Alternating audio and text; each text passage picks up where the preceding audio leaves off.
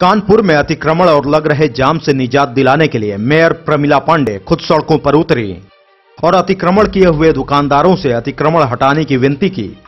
बता दें कि मेयर प्रमिला पांडे शहर के सबसे व्यस्ततम बाज़ार गुमटी पहुँची और वहाँ पर लगे अतिक्रमण को देखकर नाराज़गी जताई।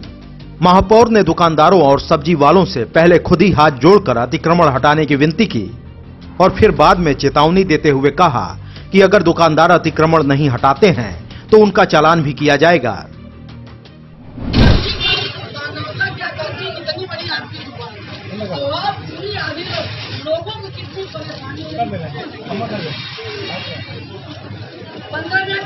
चालू कराइए आप क्या कर रहे हो आप भी तो कुछ शुरू करो आप ही क्या कर रहे हो लड़का आएगा तब करे। सभी नहीं अरे बाप रे, पीछे आप दुकान है नहीं, कौन दुकान है? हाँ? दुकान किराए पे है? तो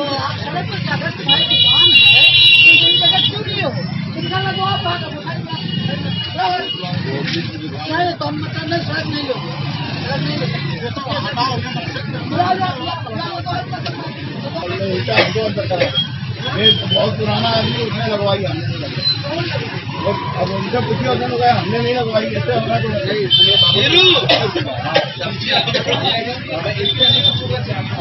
नहीं तो हाँ तो बिल्कुल आप बिल्कुल आप बिल्कुल आप मैंने इस मार्केट के लोगों से अस्सी फिर यहाँ पर गुमटी में सबसे प्रार्थना किया कि भैया आप अंदर चले जाओ, फुटपाथ खाली कर दो, लोगों को चलने में ठीक लगे।